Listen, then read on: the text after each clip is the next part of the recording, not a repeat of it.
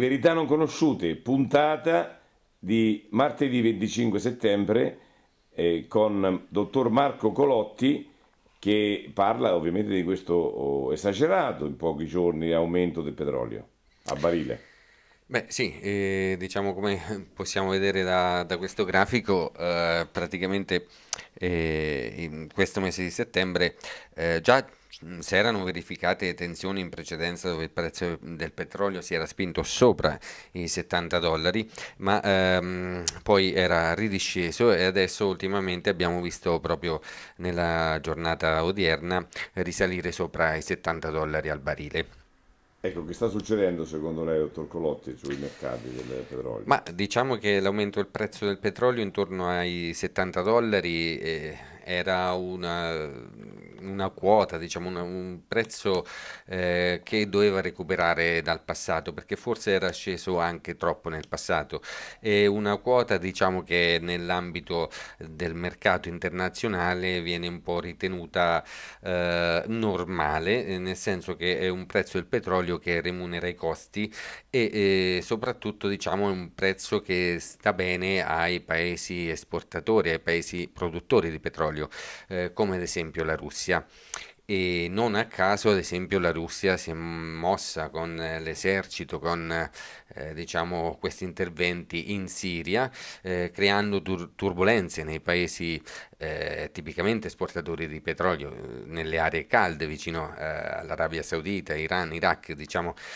zone diciamo, che mh, mm, ah, tipicamente ehm, sensibili a quello che accade, specialmente quando vengono mossi gli eserciti, diciamo in quella zona il prezzo del petrolio tende a salire. Diciamo che è, è un andamento che da anni questo del petrolio si alza, si abbassa, ma alla fine chi ci rimette è sempre il consumatore finale. Beh sì, diciamo che nel passato abbiamo visto anche prezzi del petrolio sopra i 100 dollari al barile. E attualmente di, mh, possiamo anche dire che questa quotazione eh, per quello che riguarda i paesi europei è mitigata dal, dall'euro, dall'euro che ultimamente è riuscito a rafforzarsi sul dollaro. E infatti la quotazione è espressa in euro, in, scusate, in dollari al barile e quindi un euro forte mitiga un po' eh, l'aumento del prezzo del, del barile barile. E chiaramente mh, mm, ogni aumento diciamo, della risorsa energetica va a scapito di tutti eh, perché si riflette poi eh, in quello che spendiamo per fare rifornimento con eh, le nostre automobili, per eh, l'energia delle aziende e quant'altro. Ecco, uh, sulle verità non conosciute, eh, le accise eh, diciamo, sono sempre un tallone del kill per il povero contribuente. Perché? Beh, perché sì, perché influisce direttamente sul nostro portafoglio. Appunto, quando andiamo alla stazione di servizio a fare rifornimento, eh, noi paghiamo un prezzo della benzina e del gasolio che è comprensivo, diciamo, oltre che del eh, prezzo vero e proprio del prodotto, questo prezzo del prodotto viene aumentato delle accise e anche del, dell'imposta sul valore aggiunto, che è una, un po' un'anomalia del mercato italiano. Infatti l'accisa genera a sua volta, che è un'imposta, genera un'altra imposta che è l'IVA e questo accade pressoché quasi solo in Italia. Infatti negli altri paesi diciamo che l'IVA è imposta sul valore aggiunto, viene calcolata sul prezzo del prodotto e non sul prezzo del prodotto più l'imposta di fabbricazione oppure accisa come la vogliamo chiamare. Ecco, diciamo che eh, l'economia in Italia deve essere svincolata da questi lacci e lacciuoli che eh, costringono il cittadino sempre di più a, a soffrire e ad avere dei problemi a, di arrivare a fine mese. Sì, eh, speriamo che eh, questo, questi aumenti, diciamo, questi costi che gravano sui cittadini vengano un po' mitigati dall'azione del governo. Eh, Salvini diciamo, e la Lega tengono a mh, mm, far conoscere eh, la propria politica che è quella di poter eh, diminuire le accise. speriamo che il governo riesca in questa manovra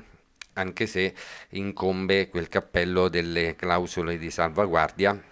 eh, che mh, mm,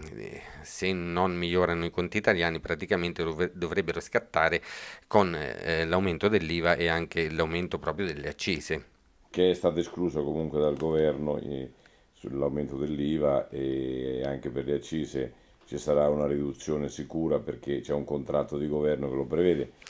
Sì. quindi diciamo dobbiamo essere un po' ottimisti per quello che sta facendo il nuovo governo. Sì, diciamo che eh, il governo eh, mette in campo questi buoni propositi, eh, c'è mh, unione di intenti sia mh, per 5 Stelle che Lega ehm, sul fatto di andare a eh, disinnescare queste clausole di salvaguardia e quindi trovare le risorse affinché non ci sia l'aumento dell'IVA e delle accise. Eh, vediamo un po' eh, Tria che cosa riesce a fare, eh, se riesce a trovare le risorse per la copertura di queste manovre. Ecco, per le Marche è una regione che ha bisogno di un commissario operativo subito, come ha chiesto Totti per il ponte di Genova, dal primo ottobre si metteranno a vedere quello che succede e noi è due anni e mezzo che stiamo a vedere, ma non mi sembra che sia successo molto, dottor Colotti. Beh, eh, diciamo che sotto questo aspetto, eh, parlando di quello che è avvenuto eh, a seguito dell'evento terremoto, eh, chiaramente i nostri territori soffrono e ancora non hanno visto ripartire una ricostruzione. Ci sono state queste misure tampone per eh, l'assegnazione delle abitazioni, diciamo, eh, però non, non, ci sono stati veri e propri interventi definitivi. Eh, qui a San Severino fortunatamente abbiamo visto eh, sorgere una nuova scuola che è stata una delle prime in Italia eh, diciamo eh, in Italia e soprattutto nell'area del terremoto, diciamo un, un intervento abbastanza veloce per quello che ehm, ha riguardato le cause di questo evento. Speriamo diciamo, che mh, prosegua in fretta questa ricostruzione e questi interventi che vadano a mitigare eh, gli effetti negativi de, del terremoto. Eh, chiaramente un commissario eh, del nostro territorio, eh, quale potrebbe essere eh, il nostro Senatore. Ex senatore, ex sindaco di Visso Pazzaglini, eh, che conosce bene il territorio e sa, e sa come intervenire in maniera puntuale eh, per mm, mitigare e fare in modo che le nostre aree possano risorgere e rivedere un nuovo uh, periodo di prosperità perché è appunto la conoscenza diretta del territorio che fa di questa persona diciamo uh, qualcuno che sia veramente uh, in grado di, di riportare eh, allo splendore le nostre aree.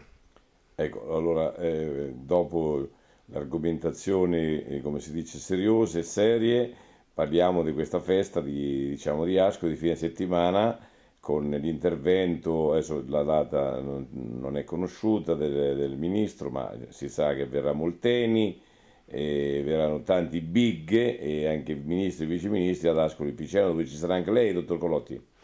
Sì, eh, diciamo vorrei essere a questo evento e in particolare diciamo che è, è molto importante eh, perché non è facile vedere personaggi di questo calibro eh, venire qua nei nostri territori, nella nostra regione. Allora possiamo dire un, eh, anche un eh, benvenuti ai ministri della Lega nella nostra regione ancora una volta ad Ascoli ma senz'altro sono benvenuti e mi auguro che prendano coscienza delle problematiche del nostro territorio e possano ben rappresentarle nelle istituzioni.